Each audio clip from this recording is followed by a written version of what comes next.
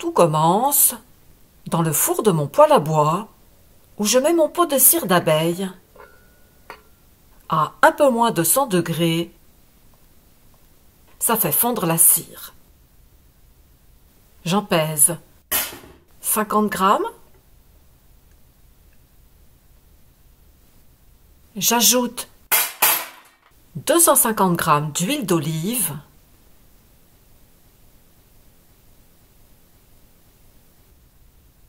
Comme la cire a figé, je remets au four.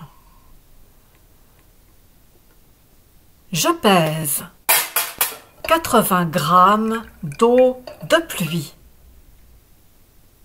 Lorsque la cire a fondu, je sors le pot du four et je le couvre bien. Et maintenant, bras nus, bracelet, c'est terminé, je mets une tenue de protection.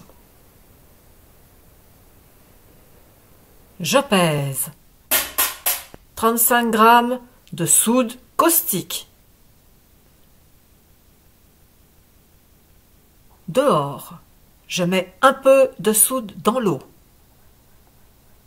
Je remue.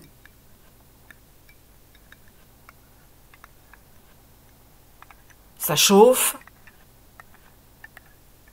J'attends que ça devienne tiède, une minute ou plus si besoin. J'ajoute un peu de soude dans l'eau. Je remue.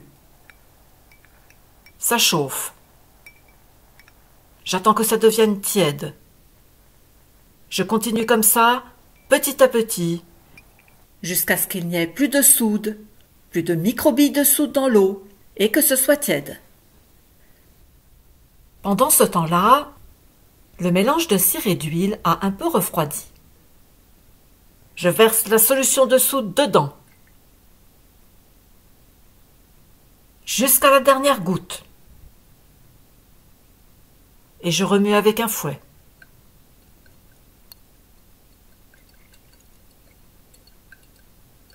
Trois minutes plus tard, c'est devenu plus épais.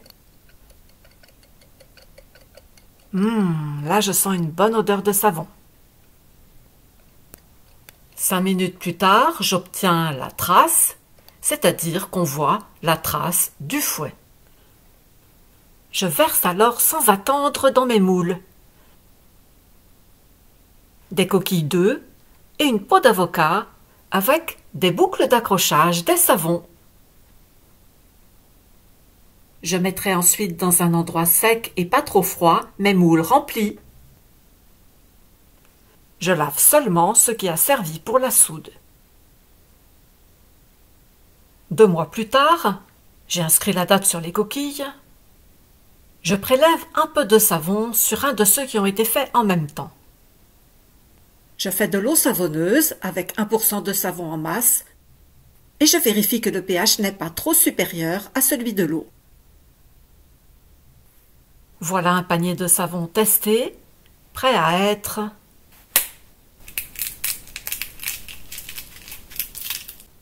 mis en service. Maintenant, je vais répondre à quelques questions. Pourquoi dans le four du poêle à bois Pour profiter de la chaleur du feu de bois au lieu de consommer du gaz ou de l'électricité? Pourquoi un peu moins de 100 degrés? Il faut un peu plus de 60 degrés pour que la cire fonde. Tant qu'on reste en dessous de 100 degrés, ça va? Si on chauffait trop, il y aurait des vapeurs de cire partout, et voilà ce qui pourrait arriver, image par image. Avec l'huile aussi, si on chauffe trop, voilà le résultat. Surélever le pot est une précaution supplémentaire pour éviter que le fond du pot chauffe trop. D'ailleurs, quand j'utilisais un bain-marie sur le gaz, je surélevais aussi le fond du pot. Pourquoi utiliser une vieille balance? Parce que je ne crois que ce que je vois. Avec elle, zéro bug, zéro batterie, zéro déchetterie. Pourquoi Y a-t-il des noix sur un des plateaux de la balance Pour tarer les récipients vides sans utiliser mes poids. Pourquoi peser l'huile par-dessus la cire d'abeille? À chaque transfert, on perd de la matière.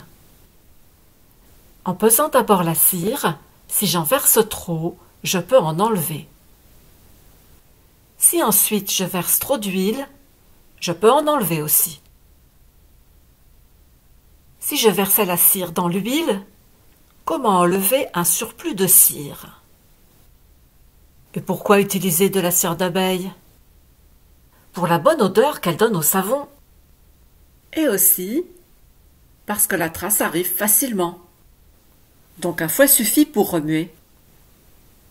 Une simple tige en inox peut même suffire dans ce petit pot. Si on avait besoin d'un mixeur, il pourrait finir par chauffer. Ça m'est arrivé la première fois.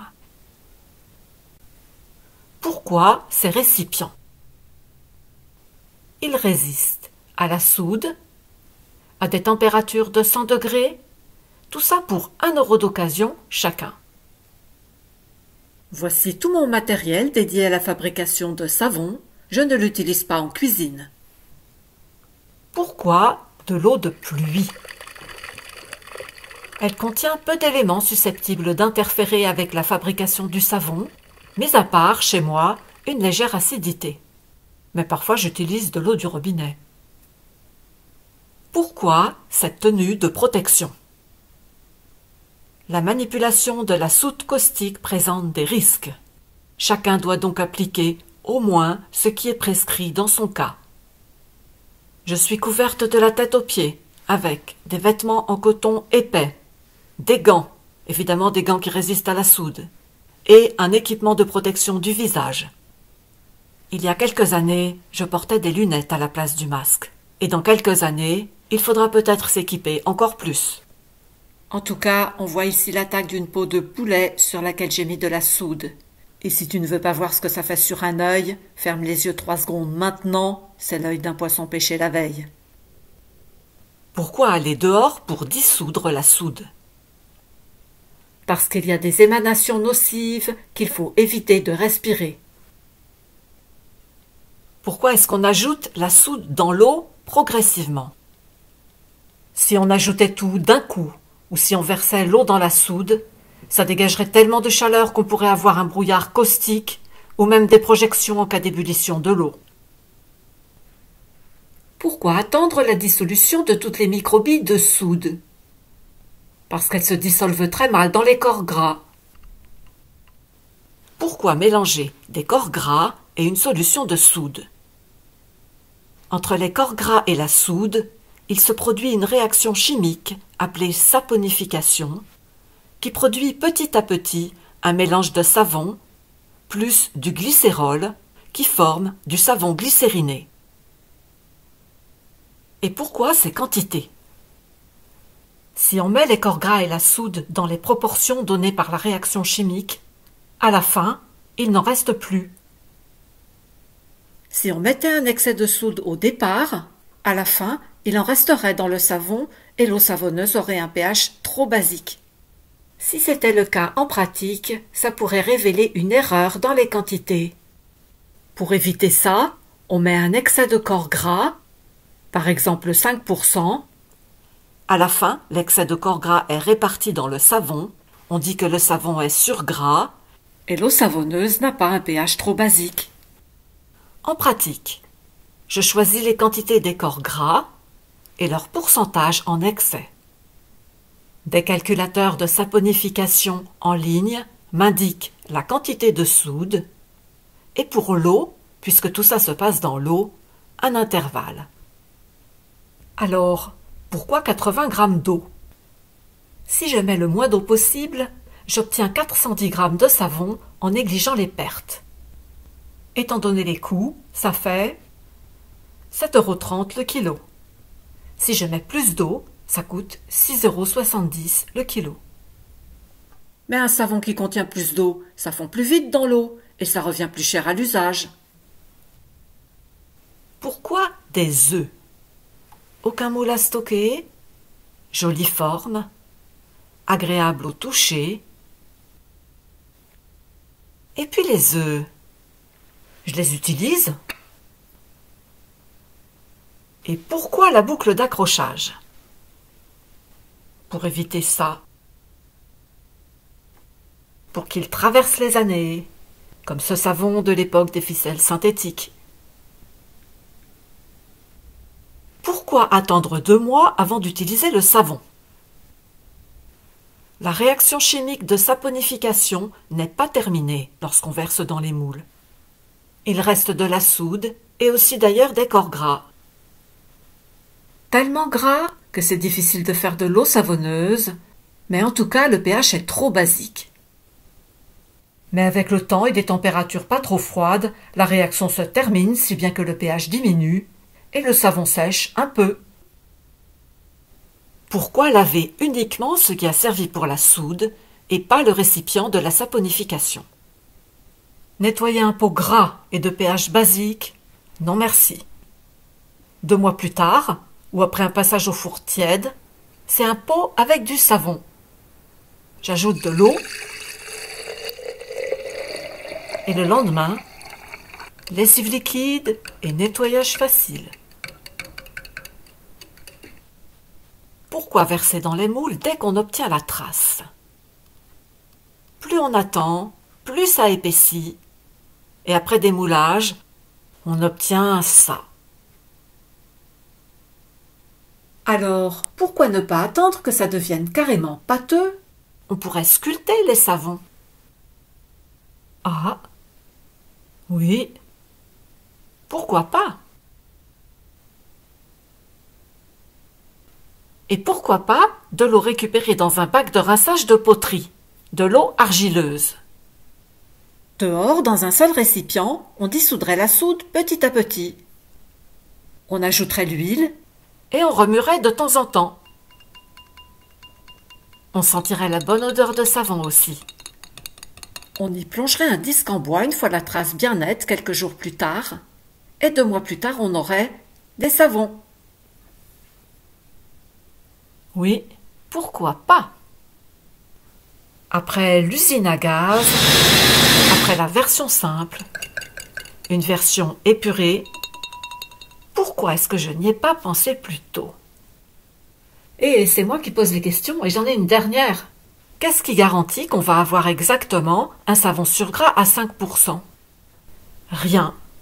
Le résultat dépend par exemple des pertes lors des transferts, du pH de l'eau, du calcaire des coquilles, des caractéristiques des corps gras, des imprécisions des pesées et de l'âge, de l'âge du pot de soude.